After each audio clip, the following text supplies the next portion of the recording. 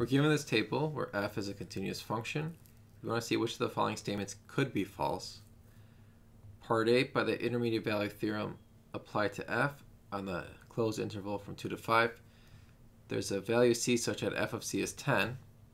Well, let's see what that looks like. So if I were to draw this, at 2, f is 1. At 5, f is 31. So we know by the intermediate value theorem that at some point we're going to have to cross the value 10. Okay, so somewhere in between 2 to 5, the intermediate value theorem guarantees that we're going to cross 10. So A is true. B, by the mean value theorem applied to f on the closed interval, there's a value c such that f prime of c is 10. So first of all, the only condition that we're given is that f is continuous. We do not know if it's differentiable. The condition for the mean value theorem is f being continuous on the closed interval and differentiable on the open interval.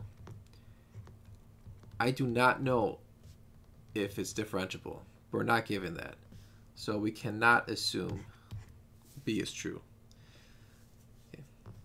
For C, by the extreme value theorem applied to f, on the closed interval, there's a value of c such that f of c is less than or equal to f of x for all x in the closed interval. So this basically is saying it um, there's a minimum, right? So if f of c is less than or equal to all the values of f of x in an interval, that means there exists a minimum. And this is true.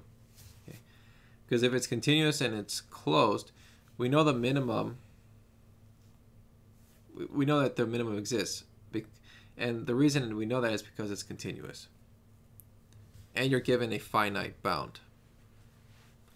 Similarly with part D, we're looking at f of c being greater than or equal to f of x. That means there exists a maximum. So for any closed interval that is continuous, there's always going to be a minimum and a maximum. So that's by the extreme value theorem. So C and D are, are true. Now, the question asks which of the following statements could be false, and that that is B.